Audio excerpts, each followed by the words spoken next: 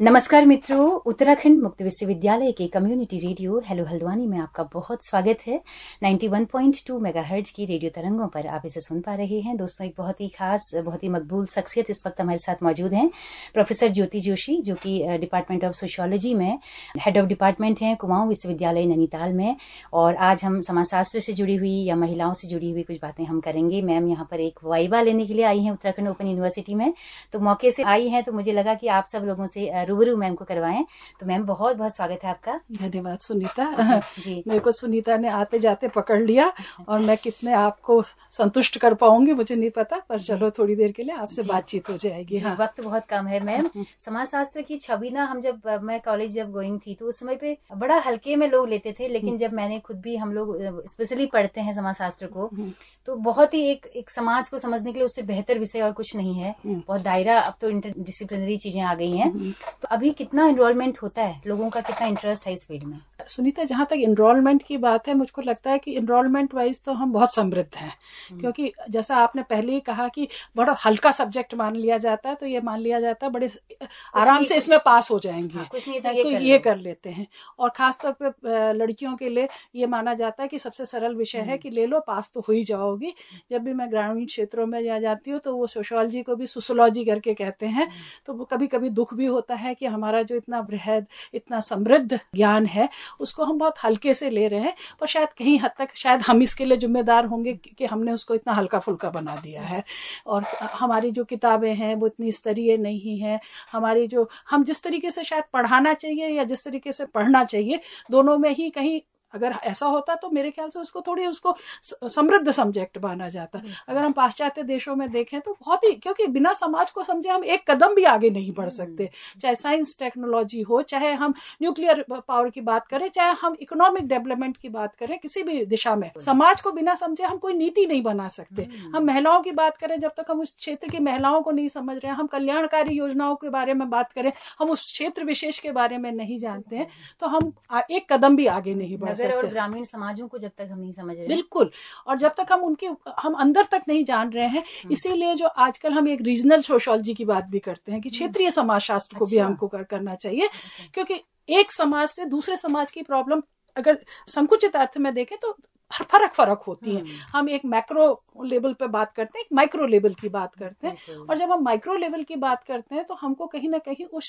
समाज को इसीलिए कुछ सिद्धांत भी समाजशास्त्र में ऐसे विकसित हुए हैं जहाँ की हम माइक्रो लेवल की बात कर रहे हैं कि हम्म, हमको सूक्ष्म अध्ययन करने चाहिए और उस आधार पर कुछ रिकमेंडेशन और एक्शन रिसर्च की भी हम बात करने लगे हैं। हम्म। इसीलिए क्योंकि समाजशास्त्र केवल एक सैद्धांतिक ज्ञान के साथ साथ एक व्यावहारिक ज्ञान भी आपको दे रहा है। और उसकी व्यावहारिकता तभी स्पष्ट होती है जब हम उसका कोई आउटपुट समाज में लेकर के आए।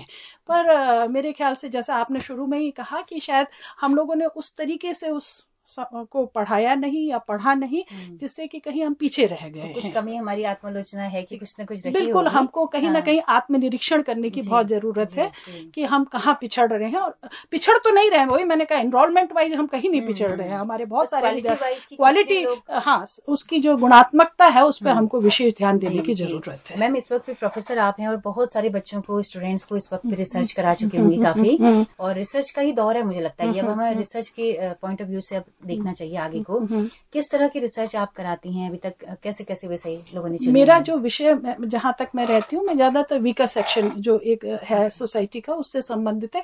चाहे मैंने मेरा जनजातीय समाज पे अपना अध्ययन रहा है उसके अलावा नारी जेंडर हम्म। पर रहा सेक्सुअलिटी आजकल मैं करा रही हूँ और ऑफ़ लेट मैंने थोड़ा लोक संस्कृति पे अपना को, को केंद्रित किया हुआ है okay. क्योंकि जब ग्लोबल और लोकल और ग्लोबल की बात हो रही है तो हमको हम्म। अपनी जो यहाँ की उत्तराखंड की संस्कृति है उसको भी एक ग्लोबल लेवल पर लाने की ज़रूरत महसूस हो रही है। केवल रंगोला पिछड़ा नहीं नहीं है। नहीं नहीं बहुत ब्रॉड ब्रॉड एस्पेक्ट है बिल्कुल आप बिल्कुल सही हम्म, कह रही हैं। संस्कृति को हम कभी कभी हल्के शब्दों में कहूँ तो हम बेच रहे हैं बेसिकली जो कि जीने का तरीका है ना कि बेचने गए एक जीवन की शैली भी है संस्कृति और हमारी ज्ञान परंपराएँ भी उसमें शामिल होती बिल्कुल, हैं। बिल्कुल ठीक है। तो मैम बच्चे जो रिसर्च करते हैं वो किस किस तरह के विषय ले रहे हैं?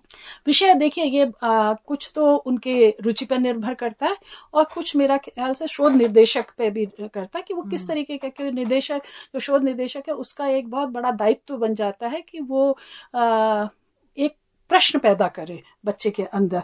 क्योंकि उस उम्र में शायद हम सोचते हैं और बहुत फैलाव होता है हमारे विचारों में। हम्म, हम्म। तो मेरे ख्याल से शोध निदेशक की महत्वपूर्ण भूमिका हो जाती है कि वो उसको उस फैलाव को कहीं आ, सीमित करते हुए उसको एक प्रश्न दे और उस प्रश्न पर सोचने के लिए मजबूर करे।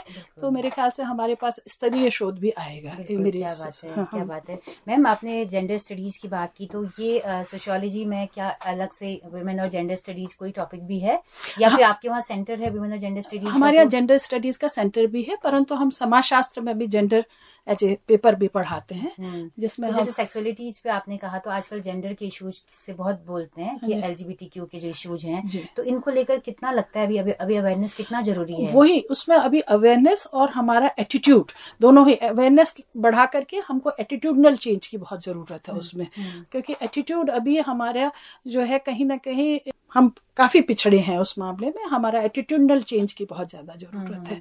अभी तो हम अननेचुरल बोल रहे हैं अननेचुरल बोल रहे हैं जबकि वो एक निहायती नेचुरल प्रक्रिया है। बिल्कुल बिल्कुल। क्योंकि हम एक ही दृष्टि से समाज को देख रहे हैं कि समाज हेट्रोजीनियस ही हो, सकता, है। होमोजेनिटी की तरफ़ अभी हम बढ़े नहीं बढ़े नहीं है। हाँ। और मेरे ख्याल से इसके लिए हमारे को अभी बहुत ज़्यादा अवेयरनेस और बच्चों को भी इस तरीके के रिसर्च करने के लिए इस तरीके के वर्कशॉप कराने की ज़रूरत है जिससे कि अवेयरनेस फैले है ना? और अवेयरनेस के आधार पे ही हमारी जो अभिवृत्तियाँ जैसे हम कहते हैं एटीट्यूड चेंज बिल्कुल बिल्कुल बिल्कुल। तो मैम बहुत शुक्रिया आपने इतना कीमती वक्त दिया। हम चाहेंगे कि रेगुलर कुछ ना कुछ आप रेडियो की श्रोताओं के लिए लेकर आए। आपने मुझको यहाँ आपसे बातचीत करने का मौका दिया। जी जी। थैंक यू बहुत शुक्रिया मैम बहुत शुक्रिया।